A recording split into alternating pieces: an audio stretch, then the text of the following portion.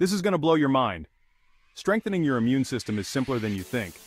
First and foremost, eat a balanced diet. Fruits, veggies, lean proteins, your body will thank you. Stay hydrated. Water helps carry nutrients to your cells and flushes out toxins. Get enough sleep. Your body needs rest to fight off infections. Aim for 7, 9 hours a night. Exercise regularly. Even a 30-minute walk can boost your immune system. Manage stress. Meditate, read, or just take time for yourself. Stress can weaken your immune response. Wash your hands frequently. Keep those germs at bay.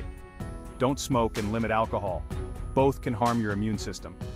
And finally, consider supplements like vitamin C, D, and zinc and add fermented and probiotic foods to your days, but always check with your doctor first. There you have it. 8 simple ways to keep your immune system strong. Stay healthy, folks. Visit greatermood.com for more health and skincare tips.